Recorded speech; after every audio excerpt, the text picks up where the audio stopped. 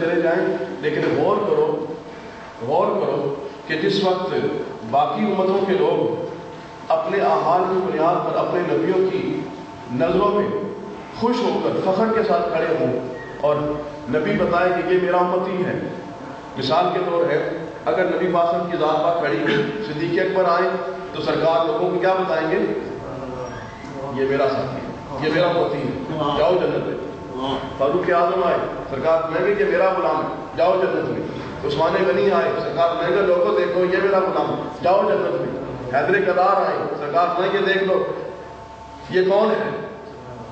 یہ میرا امتی ہے۔ حیدر، جاؤ جنت میں۔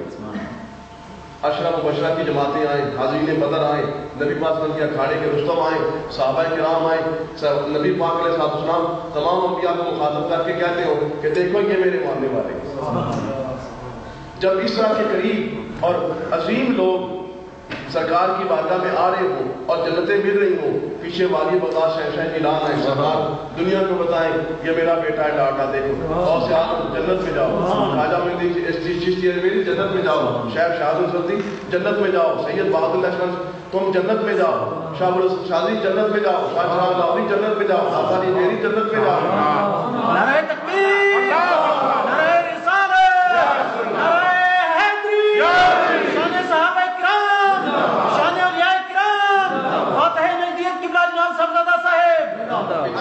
کرتے ہو نماز ایک نہ پڑی ہوئے روزہ ایک نہ رکھا ہوا ہے زکات کا پتہ ہی نہ ہوا ہے۔ سرکار کیا آپ سو تو سامنے ماری ہوتی سو افسوں بھی چاہتا نا کیا جواب دے سو سرکار کی شفاعت ہم تو ہم نبیوں کو سرکار کی شفاعت کی ضرورت ہے۔ شفاعت سرکار کی بغیر کوئی جنت جا ہی نہیں سکتا۔ سرکار کی ہی شفاعت سے جائے گا۔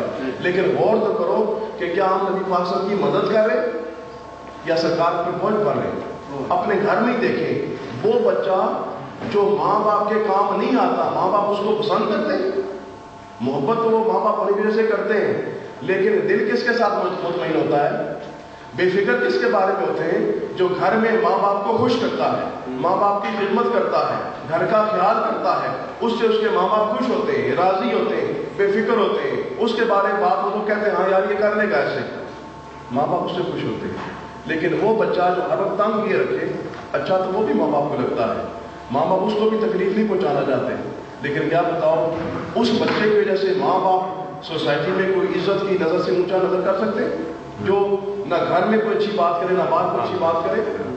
اب ہم بھی سرکار کی امتی ہیں، سرکار کی روحانی اولاد ہیں، سرکار ہمارے روحانی باپ لگتے ہیں۔ ہم سب کو بھی سوچنا چاہیے، قیامت کے میدان میں جب کھڑے ہوں گے تو کیا سرکار ہماری وجہ سے فخر کریں گے یا ہماری وجہ سے شرمندہ ہو جائیں گے علامہ اقبال نے بڑی خوبصورت بات کی تھی کہ مولا کریم، قیامت کے میدان میں اگر تو نے میرا حساب لینا ہی ہے نا تو پھر ایسا کریو کہ ہی پردے میں چھپا کے میرا حساب کریو۔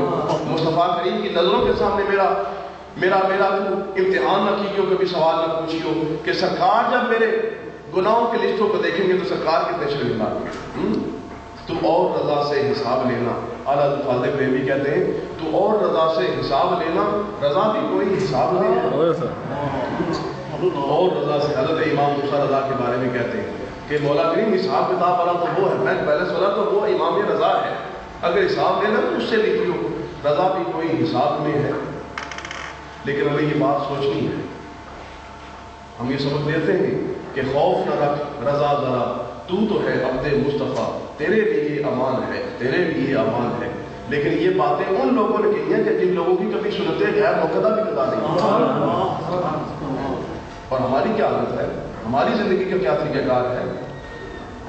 اب یہ کلاس ہے۔ کلاس ایک فیشن بن گیا ہے۔ کس طرح؟ کہ آنا ہے، سیکھنا نہیں ہے کچھ آنا ہے، لیٹ آنا ہے۔ دعا میں شامل ہو جائیں گے، برکت ہو جائیں گے یہ فیشن نہیں ہے۔ یہ کلاس ہے، اسی لیے اس کا میں نے نام محفل نہیں رکھا، اس کا نام میں نے درس نہیں رکھا، اس کا نام میں نے جلسہ نہیں رکھا۔ اس پہ کوئی تلاوت نام والا سسٹم اسی لیے جاری نہیں کیا کہ بندے اس میں آئیں تو اسی انٹینشن کو لے کر آئیں۔ گے we are going to learn something توجہ کریں۔ تو گپ شپ بندے کی اپنے آنی نہ مارنی چاہیے۔ تو برابر نہ ہوا تیرا گپ شپ مارنا اب کلاس جو ہے، کلاس کو آپ اگر اس ایک ایک کلاس جو ہم نے رکھی اسی مقصد کے لیے دین سیکھیں، اس میں بندے آ کر کچھ سیکھتے نہیں ہیں تو کون سا دن ہوگا، کون سی جگہ ہوگی، کون سا طریقہ کار ہوگا کہ ہم سیکھیں گے؟ دوستو جاگو یہ جاگنے کا وقت ہے۔ صحابہ کرام کی مثالیں ہمارے سامنے موجود ہیں۔ آپ ان سے سبق اٹھائیں۔ ہم کہتے ہیں کام کرنا ہے جی فیملی چلانی ہے جی۔ جب نبی پاک علیہ صاحب السلام نے مکہ چھوڑا تھا سرکار کی کوئی فیملی نہیں تھی؟ صدیق اکبر کی کوئی فیملی نہیں تھی؟ فاروق اعظم یہ ان لوگوں نے اپنے گھر بار جو ہے نا وہ غرب کر کے ان کو چھوڑ کر قربانیاں دے کر اسلام کو سیکھا ہے اگر تمہیں بھی اسلام چاہیے نا عزت چاہیے ہے تو اسلام کو پریفرنس دو پرائرٹی دو۔ اسلام کو آگے رکھو اپنے آپ کو پیچھے کرو۔ ہم نے اپنے آپ کو آگے کر دیا ہے اسلام کو پیچھے یہ ہماری کمزوری ہے، اس کمزوری سے ہمیں باز آنا چاہیے۔ اور ہمیں سمجھنا چاہیے کہ مرنا ہمیں ضرور ہے۔ رب کی بارگاہ میں ہم نے جا کے جواب دینے ہیں۔ دیکھیں، یہ جتنی سزائیں، جزائیں قرآن جن کے اندر لکھی ہیں، یہ ان کے پہلے مخاطب صحابہ تھے۔ نا بندے کہتے ہیں جی ہمارے پیر ہماری شفاعت کرا لیں گے۔ ہمارا پیر بڑا ڈاٹا ہے، شفاعت کرا لے گا۔ میں کہتا ہوں، نبی پاک علیہ صاحب السلام سے بڑا تو شفیع کوئی نہیں ہے۔ نا ان سے بڑا تو پیر کوئی نہیں ہے نا۔ ایک دن مجھے بتاؤ کہ نبی پاک علیہ صاحب السلام نے اپنے صحابہ کو یہ کہا ہو کہ تم صاحب صحابہ کو نماز معاف ہے، میں شفاعت کرا دوں گا۔ اور سرکار بتانے یہ جائے تھے کہ بندے کا تعلق خدا سے بنائے تو نمازوں کے ذریعے سے ہی تو خدا سے تعلق بنتا ہے۔ اور اگر وہ پیر ہو اور پیر بندوں کو نماز سے دور کر دے تو اس نے پھر بندے کو خدا سے قریب کیا کہ دور کیا؟ سمجھنے بات کے اس لیے دوستوں اس بارے میں غور کرو۔ جو اہل طریقت لوگ ہیں، تصوف والے لوگ ہیں، ان کی زیادہ ذمہ داری ہے کہ وہ دین پر زیادہ عمل کریں، تاکہ لوگوں کو پتہ چلے جو اللہ کے ولیوں کے پاس بیٹھنے والے لوگ ہوتے ہیں، جو اللہ کے درویشوں کے پاس بیٹھنے والے لوگ ہوتے ہیں، وہ دین کے بارے میں عام لوگوں کے مقابلے میں زیادہ سینسٹیو ہوتے ہیں۔ لیکن ہم نے کیا کیا؟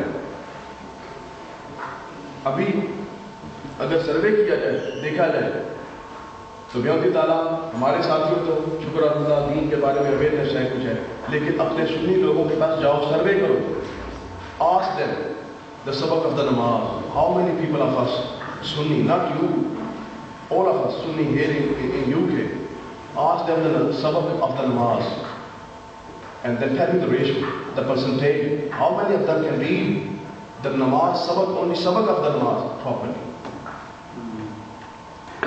And the Messiah is a different thing. So what are we doing? We are busy in our life, bus just worldly life. Please, please, ان باتوں کو بھولو چھوڑو اور قبر اور قیامت کی بھی فکر کرو جس طرف ہم نے جانا جا کے ہم نے ہمیشہ رہنا ہے میں جو احادیث آپ کے سامنے پیش کرنا چاہتا تھا جو ٹاپک اب شروع ہونے لگا وہ ہے ان شاء اللہ کہ کیا بندہ جب اس دنیا سے جاتا ہے تو قبر میں جانے کے بعد زندہ ہوتا ہے مردہ ہوتا ہے یا وہاں کی زندگی اور یہاں کی زندگی دونوں ڈفرینٹ ہیں آپس میں؟ جب یہ بات سمجھ میں آئے گی کہ قبر میں جانے کے بعد وہ زندہ ہوتا ہے نا؟ پھر اس کی زندگی پر سوال ہوگا کہ زندہ ہو کر وہ کیسا زندہ ہے؟ سبحان اللہ۔ اور پھر اس کے بعد سوال پیدا ہوگا کہ جو بندہ قبر میں چلا گیا ہے وہ بھائی والے لوگوں کو سن بھی سکتا ہے کہ نہیں؟ اگر سن نہیں سکتا تو مدد کیا کرے گا؟ سمجھے بات کی ہم اللہ کے ولیوں سے مدد مانگتے ہیں وہ لوگ جو قبروں میں جا چکے ہیں ان سے مدد مانگتے ہیں۔ اس کے بارے میں سوال پیدا ہوگا کہ کیا وہ مردے جو قبروں میں ہیں وہ زندہ ہیں کہ نہیں؟ اگر زندگی ان کی ثابت نہ ہو تو ان کی مدد کیسے ثابت ہوگی؟